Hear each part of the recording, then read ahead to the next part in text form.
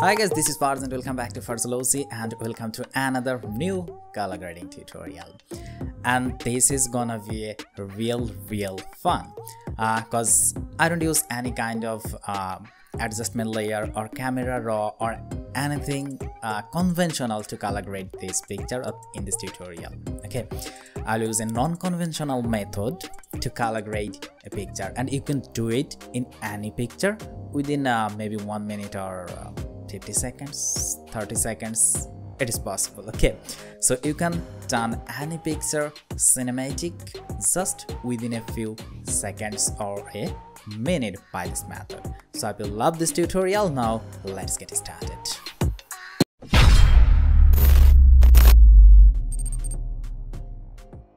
Okay uh, we'll color grade this picture today and i want to give a cinematic look okay? And you know i said it before we don't use any kind of conventional way to color grade so at first i want to copy the layer by pressing ctrl and j or you can drag it and release on this plus icon or plus sign to copy the layer. I'm pressing ctrl and j and this is the layer one. And now convert it to smart object okay? Maybe you already know the benefit of using this smart object. This is a non-destructive way of editing. You can always come back and re-edit again. So I always love to do in a non-destructive way or in a smart object. That's why I use smart object most of the time, okay? And now go to the filter option and then go to the render and click on the lighting effects. Yes, I will color grade this picture using the lighting effects so click on the lighting effects. So here it comes the all the lighting options okay? And this is good but i don't use this uh, right now. So go to the presets option and here select the parallel directional okay? So select this one.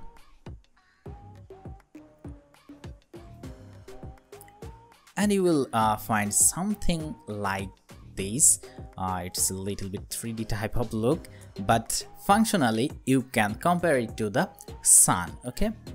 So let's see. Uh, you can see there is two handle because there is two light source. You can say there is two sun okay? So look at this come, come into the lights option and here the infinite light one that means the source one and infinite light 2 that means the light source number 2 and light 1 is intensity almost 100% and for light 2 intensity 50% okay go back to the light 1 and now just click the handle and drag like this. Look at this. Look at the source. Look at the source. This one is your infinite light 1 that means the source 1 look at this click on the handle and look at this. It will help you to change the position of light source. So i want to put it here. So you can say that this is a sun or light source 1 look at this. But I don't like this bluish color. And here is the magic. You can change the color so go to the color option and pick your color. Like this. Look at this. You can pick any color okay? So I am going with a little bit orangish color. I think this type of color let's see. And now come back to the handle again. And now look at this oops it's too much i think. Look at this. Look at the changes it looks fine. It's too much and look at this one. Now look at this. This source is underexposed. Okay. But look at this. Look at this right now. It looks beautiful. I think yeah it looks really good. I think this is fine. This is very good. Let's put intensity 100% and for light 2 this one. I am giving this one let's I'm to decrease this intensity a little bit.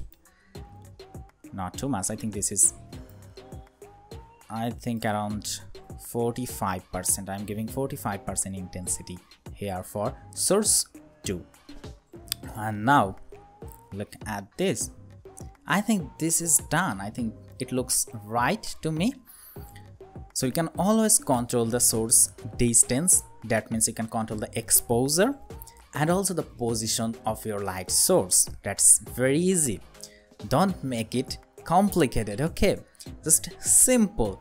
Just drag the handle and position it in a suitable place. Change the color what you want.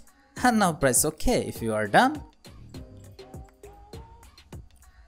Look it's done and as it is a smart object it comes with as a smart filter. So you can always go there and edit again.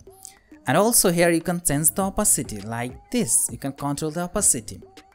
So let's see the before and after. Look at this. This was the before and this is after. Let's increase it to 100% look at this. This was the before and this is after. Look at this. It gives you a little bit warmish color little cinematic vibe it looks beautiful look at this this was the before and this is after that's it it's simple just go to the lighting effects then select the parallel directional light and then change the color of your lighting source and place the source light on a suitable place. That's it and it's a pretty simple and easy way to color grade.